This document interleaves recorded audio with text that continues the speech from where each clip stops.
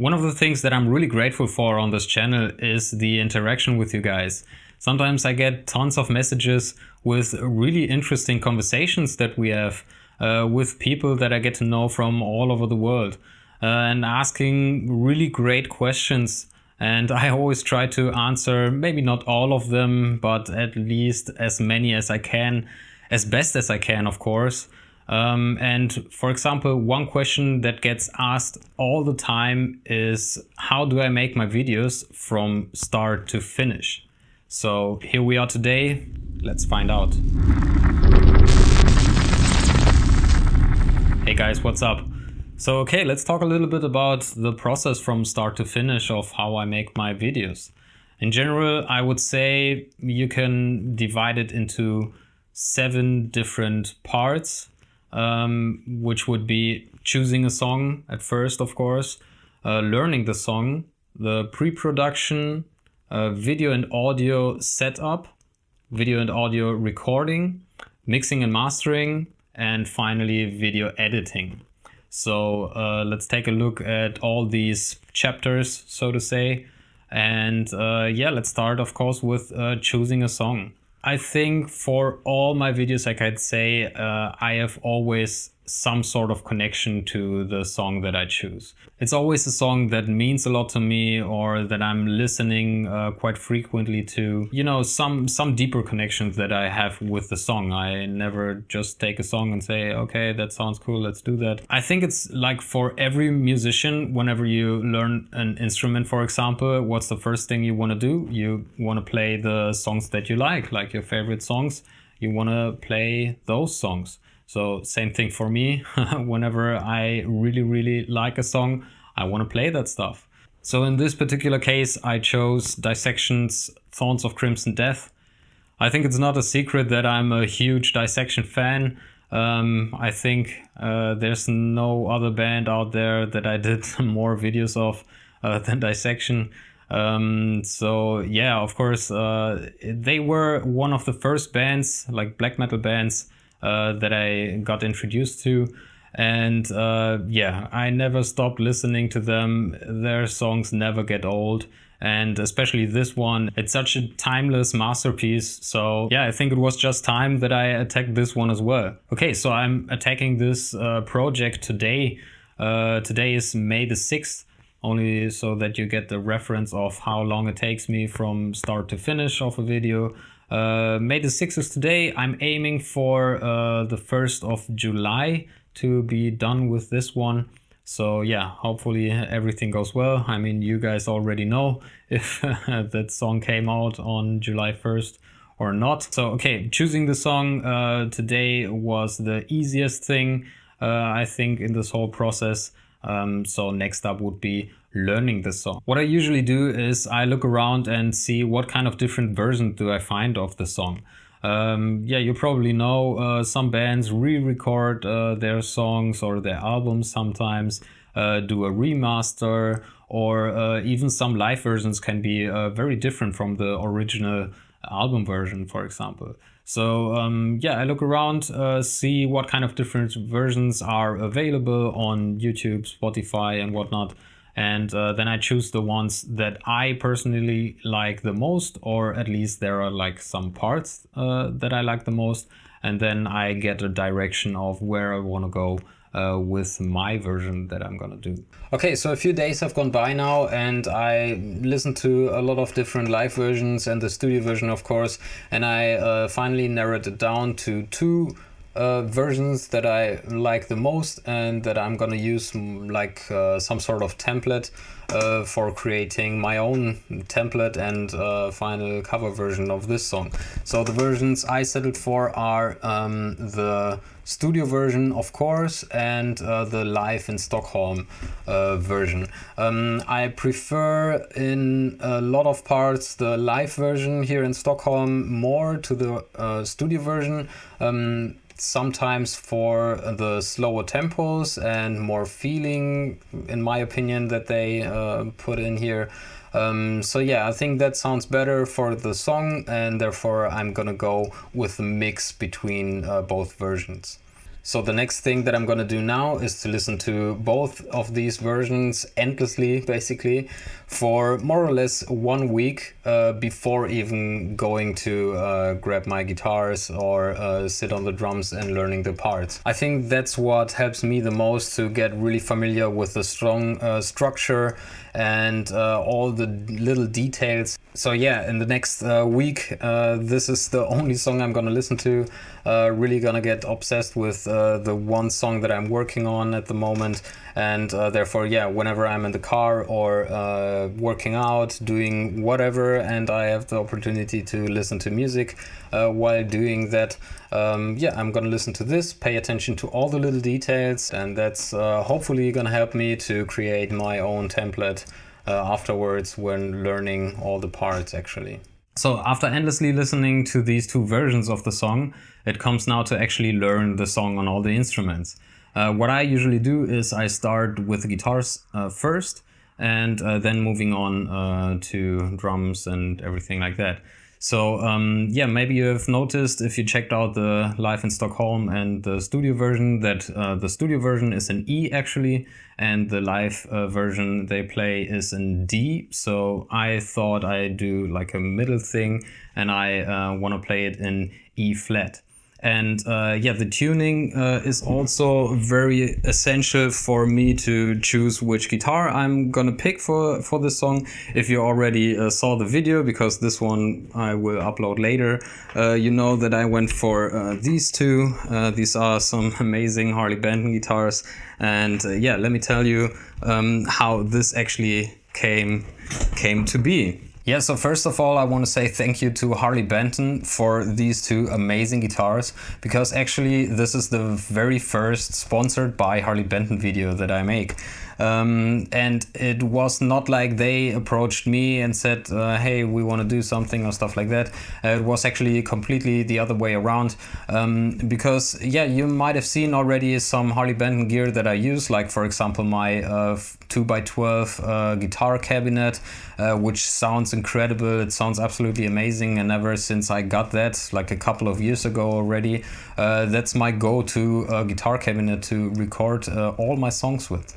Um, then I also use, for example, my um, Harley Benton the pedal board, uh, which I use live all the time, and that was actually the reason why I bought it because it's still small enough so I can uh, carry it from one gig to the next one. And it's also compact enough that I can put all the effects uh, that I need on there. I don't really need uh, lots of effects uh, when I play live or even when I'm recording, uh, but it also can carry my uh, mini guitar amp, uh, which I use live even. Uh, so yeah, th that's really incredible and I'm using it constantly.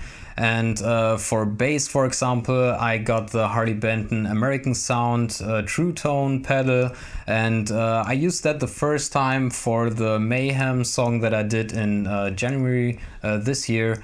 Um, and yeah, it totally changed the bass sound uh, into a bass sound that I was looking for for a long, long time. So I'm really blown away by this pedal. Um, and it's even just, I think, 30 bucks or something. So really affordable, really, really awesome sounding pedal and uh, yeah i never want to record anything on bass without that pedal anymore. And speaking of bass uh, you might have seen in the last couple of videos my uh, harley benton tb70 uh, that's an amazing bass. And uh, actually the reason why i wanted to check out uh, some of their guitars because yeah just putting it or taking it out of the box, uh, it played incredible. I didn't need to set it up at all. Uh, it sounds fantastic and it's, uh, yeah, like all the Harley Benton products, it's uh, really affordable, but uh, really high quality yeah, and it can definitely hold up to some very premium instruments from other brands. Anyway, so this was my reason uh, that I wanted to um, check out these guitars. I saw these uh, single cut models um, and then I just asked uh, Harley Benton if they want to do something together. So this is the Harley Benton SC1000 in white.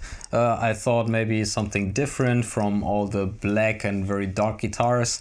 Um, it has active pickups and uh, yeah, it looks really, really amazing. I was at first a little um, yeah concerned about the super thick body, but it actually doesn't weigh much. It's actually uh, yeah almost light. Uh, lightweight. Uh, it's completely made of mahogany. Uh, it sounds amazing. Yeah, I mean you already probably saw the the video. Uh, and get to hear uh, the guitars. Um, so yeah, I'm really happy with this one. And uh, yeah, the other guitar is of a very similar shape. It's also a single cut, uh, but of course in black because you cannot uh, go without a black guitar in a black metal song, I think. Um, with super nice gold hardware. The hardware, the Floyd Rose, is an actual original Floyd Rose, like not a licensed Floyd Rose or anything like that. Two original EMG pickups, uh, which sound like, uh, yeah, cannot describe it. You heard it, and uh, yeah, it's a fantastic. Uh, this is actually much thinner than the white model. This is the Harley Benton SC Custom Plus EMG Floyd Rose or FR, I think the model is uh, called. And uh, yeah, I'm super blown away by uh, the quality, how it plays. Like the neck is super fast, uh, even though it's not like super thin, which I like a lot. And uh, yeah, I don't want to bore you with uh, too many geeky details and specs of the guitars.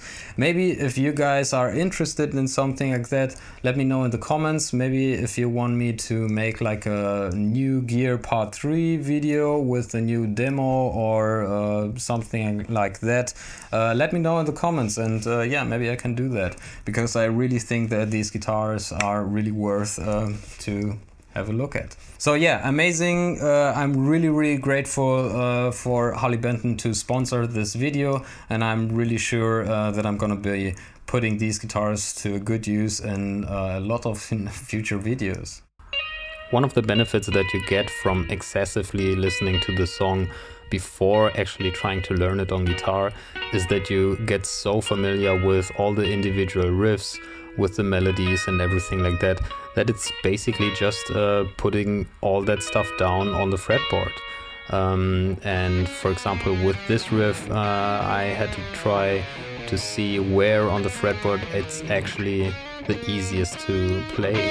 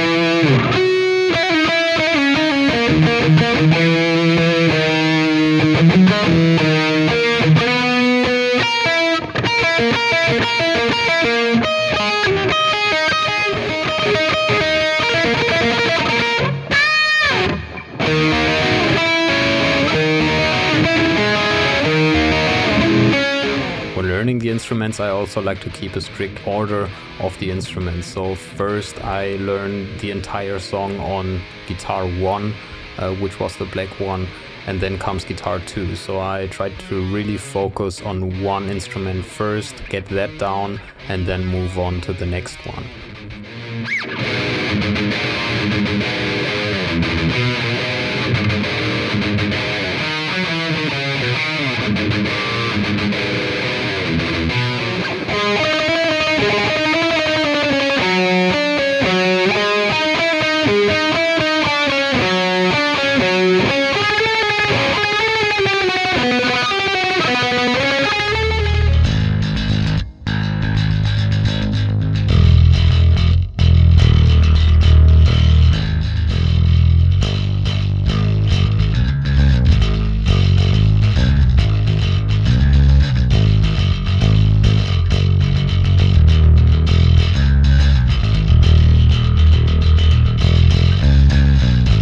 Rather complex song like this one, I do like to uh, sit down on my E-drum, for example, and get down all the beats, uh, all the weird fills that are there. and yeah of course also take notes in between uh, for like tempo changes and stuff like that.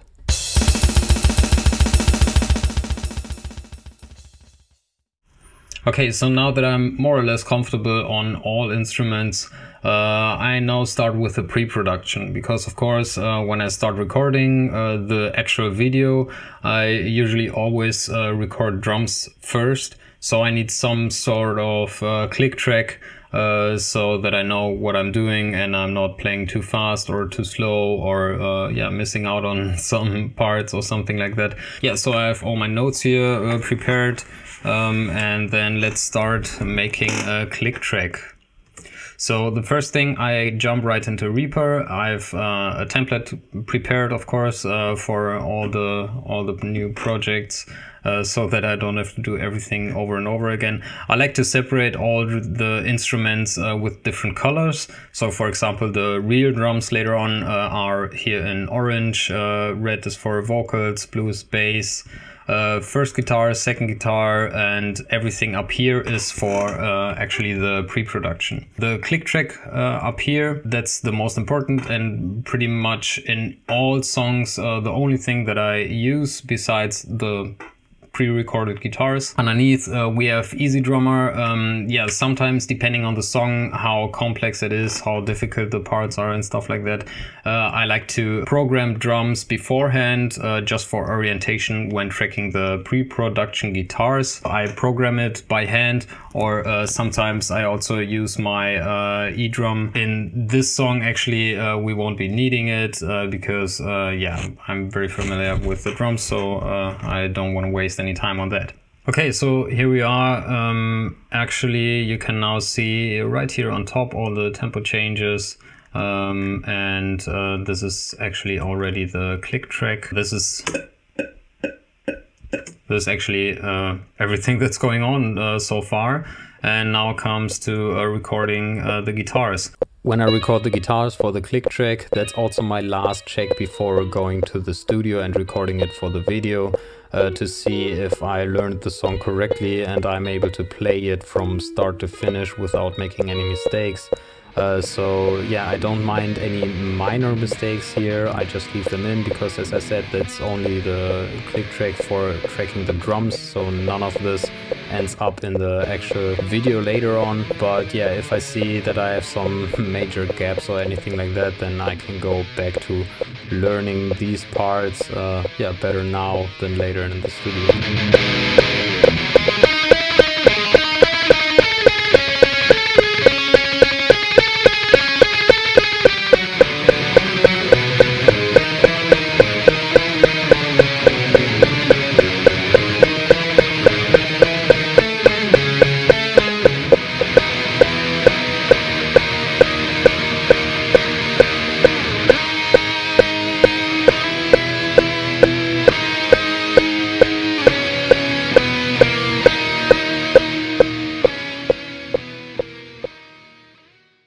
Okay, so here we are in the main studio and now it comes to recording everything. Uh, so the first thing I always do is uh, I have to take care of the microphones that they are in place. Luckily I never really move uh, my mics um, unless I'm for example changing the heads uh, of my drums or something like that. So we have nothing to do with the microphones. Next step would be to um, put the cameras in place. Okay, so I think the main camera angle is okay. So let me now take all the other cameras and set them up. Okay, so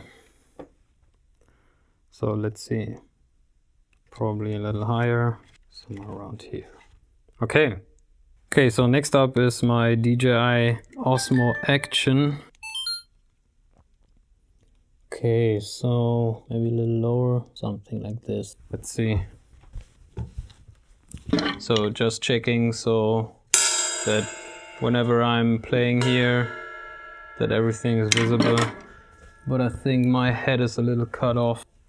Yeah something like that.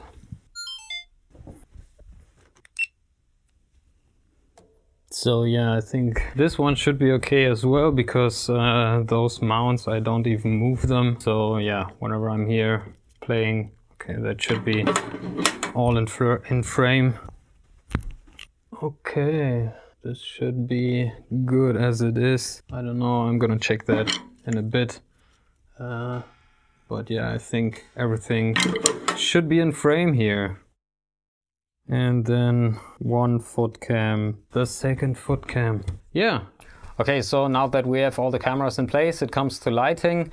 Uh, so uh, now I'm gonna move uh, these light boxes uh, into their positions. So yeah, I think the lights are set up uh, quite okay like this. I'm gonna do a couple of uh, test recordings just with the cameras and then I'm gonna see if I have to change something and then I think we're ready to, to do the actual recording. Okay, so it's actually the next day and I still didn't record anything. Uh, it took me a little longer uh, than expected yesterday uh, because I was experimenting a little bit. I mean, uh, maybe you can see uh, like it's a different lens on this camera and I put on some filters on uh, different cameras. I mean, it's subtle changes, but I like to experiment with stuff like that, and sometimes that takes me uh, more hours than I expect, and then uh, everything gets delayed a little bit. But yeah, I think now, uh, after making some test runs, everything is uh, set up as I like it, and um, I think I can start recording now actually. It's uh, insanely hot outside. It's uh, I think 32 degrees, and uh, probably in here it's like 132 degrees or something like that. So yeah, I hope uh, I can record everything in the first take. And that's actually what I always try to do. Like, of course, nail it in the first take uh, because uh, then it saves a lot of time. But I actually record everything in one take. So it's not like I um, record the first part and then take a break, record the second one and uh, cut everything together. Um, yeah, maybe I'm just too lazy because the editing of that kind of recording is uh, much more time consuming uh, than just play it right uh, the first time at once.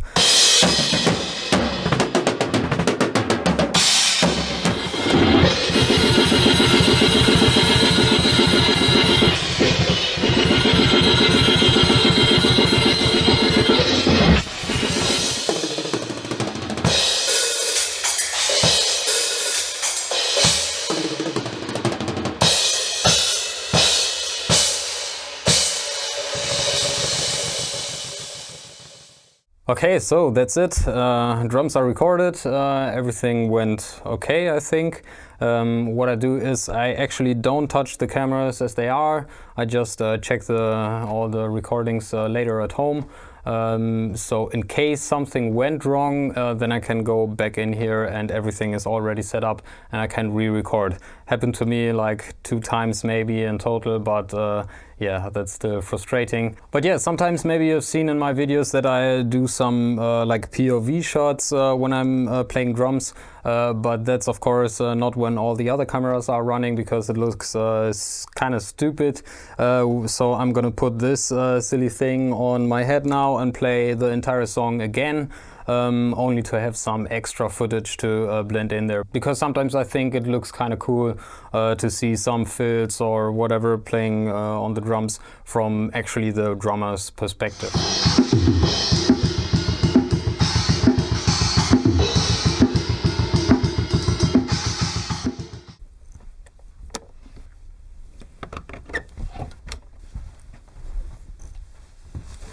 Okay, so here we are, a new day. And uh, yeah, I think the drums are okay, so uh, we're moving on with uh, tracking the guitars today. Uh, I'm gonna start with guitar one, of course, uh, which is always the guitar where I'm also doing the vocals. Um, so yeah, now we can tear apart everything that we've set up here on the drums and uh, do basically the same procedure again. Like first uh, setting up the the microphones that are already set up, just like with the drums. Um, then going over the different camera angles, uh, checking that out, and then uh, the last step would be uh, the lighting, and then start recording. So, okay, let's go yeah, even though the new studio is so much bigger, I still need to take apart the drums a little bit to place a camera back here. And yeah, you see behind the amps, it's almost pitch black. So I place some lights there to create a little more depth and the main lights go to the side of the drums. Okay, so everything is set up now and uh, yeah, I think we're ready to go. What I'm gonna do is, uh, so this is my uh, guitar uh, setup. So today I'm gonna be recording guitar number one, which is uh, the black one. I'm gonna record uh, the guitar with the Joyo Zombie um, and then off camera I'm gonna re-record it, so doubling the guitar with the Peavey 6505 Plus. And then tomorrow I'm gonna record the second guitar uh, on video with the Joyo Firebrand. And then off uh, video I'm gonna do the double track uh, with the Joyo uh, Vivo. And uh, then the next day I'm gonna record bass. And yeah, hopefully then that's gonna be all. Yeah, I'm gonna do a test recording just as uh, with the drums.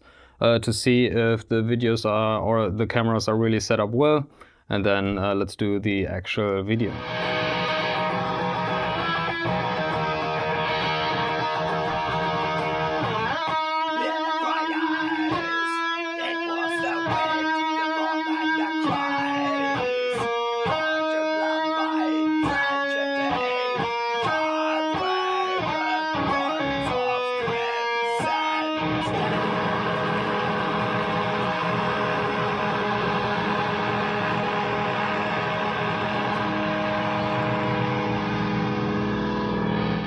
Okay, so I think uh, that worked out pretty good. Uh, first take, I don't think there were any mistakes. Uh, gonna double check later on, but first I'm gonna put on a camera on the headstock of the guitar and uh, yeah, because I already did a POV kind of shot uh, on the drums, then I always feel it fits if there's a similar moving camera on the on the guitars as well, for example. So yeah, why not? Uh, if I don't use it later on, then it didn't hurt me to do another take. I mean, it's now, I think, 9 in the evening, so I'm gonna do that one take uh, for the entire song and then head home and do the second guitar tomorrow.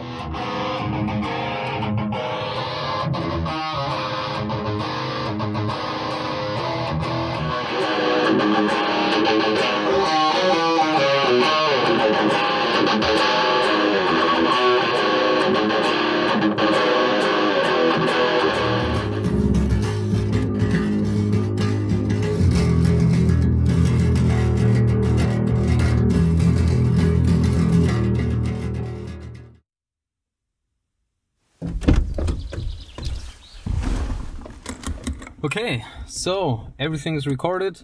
I double checked uh, all the files uh, to see if I have to re-record anything, uh, which is not the case. Um, so yeah, now it comes to mixing and mastering the audio. Um, usually I send all the files uh, through the internet uh, to Toby um, from uh, Roadkill Music Production um, but I thought this time let's bring him everything personally and then he can tell you what he's actually doing with the mixing and mastering. So yeah, he lives like uh, one and a half hours away. Uh, so let's hit the road and see how we can make this song sound good. Alright, here you can see Toby and I are just listening to the first version of the song like a really rough and quick first mix. And I'm taking notes of all the parts that I want to have changed or that I have some ideas uh, what we can experiment uh, with there. And yeah afterwards uh, we just discuss everything all the notes that I made. And here for example we're talking about the bass solo part if you want to say so and try what fits and what not. Aber nur an der Stelle, wo der halt alleine ist, dass der da dann halt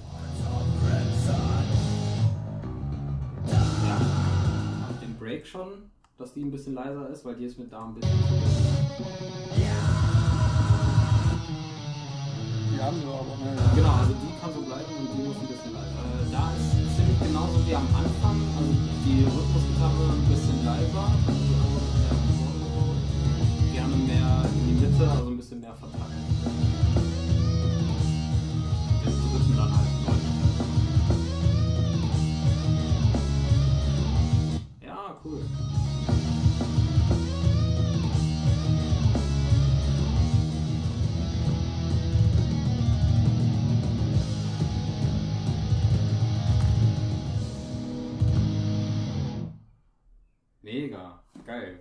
Sehr gut. Okay, so uh, I think that was it. Uh, sounds really good. The mix is uh, done. So uh, now I'm gonna head back home and uh, I can finally start editing the video. So for me, the actual really, really intense work starts now. So okay, let's not waste any time and go back. Okay, so now we're almost back home, and uh, yeah, funnily enough, uh, that was now like three hours drive for one hour of mixing actually the song. Um, but you know, that's what I really like about um, working with Toby and Roadkill Music Production is it's always so fast and so quickly and uh, he's so precise like everything uh, everything I tell him like maybe you can change this you know he he always gets it right on the on the first time basically uh, he has a really good ear for uh, the music, like this type of music especially. And yeah, so ever since uh, we started working together, I think uh, the sound quality really uh, improved uh, by a lot. So yeah, thanks Toby. I really can only strongly recommend Toby and Roadkill Music Production to any one of you if you're looking for someone to do your mixing, mastering, or even recording yeah, I think roadkill uh, should be something to consider. Okay, so I think although we're home relatively early, uh, yeah, it's still sunny outside, but I think I'll call it a day and I'll see you tomorrow when we start editing the video. Okay, so let's start with editing the video, the final stage of this whole project. Uh, so let's jump into DaVinci Resolve, which is the program I use for editing all my videos um, and let's create a new project. All right, so here we have all the individual clips and now we can start. So let's start with the base shot here. Alright, so now we have uh, all the files in here. Uh, you can see, so there are 23 uh, video tracks actually, and underneath here uh, we have all the audio files from every camera. As you can see, nothing's aligned here, so uh, that would be the first step that I'm gonna do to uh, align all the clips. But first of all, what I'm gonna do, you already saw that in Reaper, I like to organize everything by colors uh, so then it gets uh, much much easier um, to see uh, right away which uh, track I'm editing right now. Okay, so uh, how do I uh, align all the clips now? My trick is, yeah, of course, at the beginning of every recording, for example with drums, I click the sticks together or when recording bass and guitar and stuff like that, uh, at the same time uh, where I did that click with the sticks, I clap my hands uh, so that I have a yeah, peak in the in the audio file, so I can see okay this is second number one, for example. So uh, yeah, as here in the drums. Okay, Thorns of Crimson Death, take fear. Yeah, so it was my fourth take. Uh, that was actually the good one. So that's it. Very simple. Uh, same thing, for example, with uh, the second guitar I got here. Just a simple clap. And uh, yeah, then I need to find uh, where these are. For example, if we look here uh, very closely, I think this one could be a clap right here. So let's see. Yeah, so this is a clap and then you can see this is probably one, this is one. So it's only a matter of uh, taking all these claps um, and align them on the same position. So let me do that. All right, so now we have everything aligned. Uh, you can see here. So this is the clap. So the next thing that we're gonna do now is because of course we're not gonna use the audio from the cameras. Um, we're gonna take the mixed version. If we zoom in here, you can see here's that little click as well. So it actually starts also with the click, which I can cut off later on. And then I can just take all the other clips here, cut them away, and now everything looks much, much cleaner. The next part would be then to start with the color grading. Okay, I think that's it going from this, like just applying some minor color corrections. It looks kind of natural, no fancy colors or anything like that. Uh, the look comes actually uh, in my workflow is the very last step. Yeah, it takes a lot of time actually because it's so many different uh, video tracks. So that's it for now, and I think I'm gonna continue tomorrow because uh, this actually took me now four hours. okay, so now comes the rough cut. So I'm just uh, playing the song whenever I feel, okay, here could fit in a change of camera angles or something like that. I just make a cut. So later on I'm left with all those little pieces and then from there on I can like adjust the puzzle if you want to say so. Now we have cut uh, everything together here. What I now do is uh, I select the scenes that I want to have visible so in the beginning, for example, there's uh, only playing the both clean guitars, uh, so it doesn't make sense to have the, the drums visible or the bass, for example. So first thing I can do is for the entire clean part, just uh, delete the drums and the bass, so everything orange and blue goes away and then I think for example I want to have this view is okay and maybe the so maybe these two just together. I like the front view from the from the white guitar but maybe not this one this one either so uh, that's a camera angle that's always kind of difficult for the main guitar the first guitar with the vocals because from this angle of course uh, almost all the time when I'm standing in the front, uh, the microphone is in front of my face or in front of the guitar. But sometimes when I step back, for example, this uh, this comes in quite handy.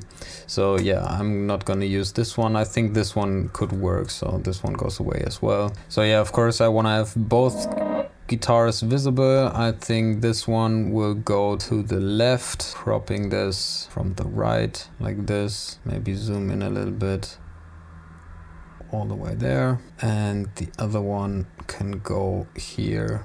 Let's see how it looks like.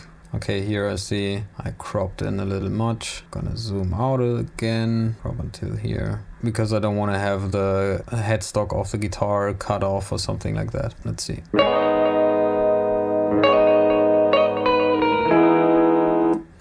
yeah okay. So I like that. Then there comes the next change. Let's see what we can do here. So then uh, here comes the longer part uh, because here I want to have like everything visible. Um, for the drums I always pay attention um, what kind of stuff am I playing. Like for example in this part uh, I play more toms and everything more oriented to the right side of the drums so uh, here we have a camera angle looking from the left from the hi-hat side uh, so I don't want to use this one because uh, as you can see, you know, I'm blocking everything that's going on. So, okay, this I'm not gonna take. Uh, maybe this one you could use. But I think there's a better camera angle from this one because then you can actually see the toms. Yeah i think that one looks way better. So okay then um, since we have in the previous shot uh, the front view from the guitar in this one I won't be using this one. I think I'm gonna be using this one so the other ones. If I'm using uh, the right angle from this one then I prefer using the left angle from the other guitar, so that would be this one. Let's delete the other ones. And then for the bass, I would choose like a front kind of view. Yeah, looks kind of cool. I think that one looks better. Now we have all these clips together here. I'm just gonna select all, shrink them to half the size. Then I want to have the guitars on the upper half, drums and bass on the lower half. And then since the first guitar is on the left speaker and the second guitar is on the right speaker, I also like to uh, split them that way on the screen. So okay, then we have this shot here.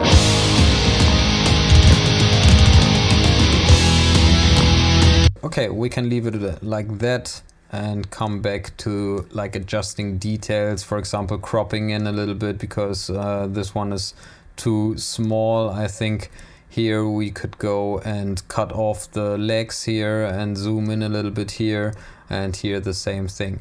But that's uh, like detailed stuff, uh, what I'm gonna do uh, later on. So let's move on to the next scene. And that's basically uh, what I'm gonna do now with every single cut that I have here. And yeah, let's do that. Yeah, so as you can tell, uh, this is the most time consuming of the entire uh, editing stuff or even recording stuff, I think. Um, so yeah, like after a couple of hours now, uh, I got like maybe a third of the entire video. So yeah, I'm gonna call it a day now and continue um, tomorrow because uh, yes, at some point your brain just melts down and uh, yeah, it's uh, important to take some breaks. I think uh, today is the last day of editing. So I just uh, rewatched uh, the entire project. Um, so as you can see, here are some markers every time that I uh, notice like a mistake or anything that needs to be readjusted or something like that. So uh, yeah, let's just uh, jump right into here, for example, and uh, see what kind of things I had to readjust. So here, for example, I wanted to have the camera angle just zoomed in a little bit more. So uh, let's just adjust these kind of things. Okay, moving on. So this one. So here, uh, for example, I didn't like that the frets look kind of gold, which is just not the case in the original. So uh, let's take the saturation down a little bit and that's it. That's the whole thing. Yeah and so uh, that's what i'm gonna do now. Like just uh, go through the entire project uh, fix all the the little mistakes that i saw um, and then i think we're done with the cutting part at least. All right so now that we have corrected all the little mistakes and uh, adjusted all the clips to each other um, it comes now to creating um, more fitting look to the song. Okay, let's do that and experiment a little bit. Yeah, I think I'm gonna leave it like this. I mean, this is like before. This is the footage without any color correction or anything like that. This is with adjusting the clips to each other and this is now the final look. So whenever I'm completely done with editing the song itself, then there comes the finishing touches like the band logo, for example, and the title of the song. I try to find out where I can place them, where it's fitting the intro, of course, where I blend in the sound of the intro with the beginning of the song, and the end screen, of course, where I put the Roadkill Music Production logo and the names of all the patrons. All right, I think we're done. As I said, I'm gonna double check everything now. Um, watch it once on the on the big TV um, to make sure that there are no hidden mistakes there.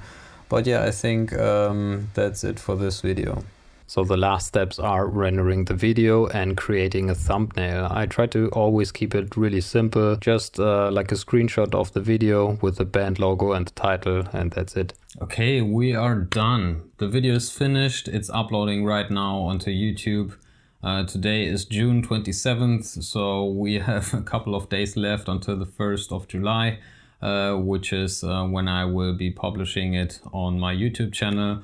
But today, actually, of course, I'm gonna upload it on my Patreon page as well for the early access, you know.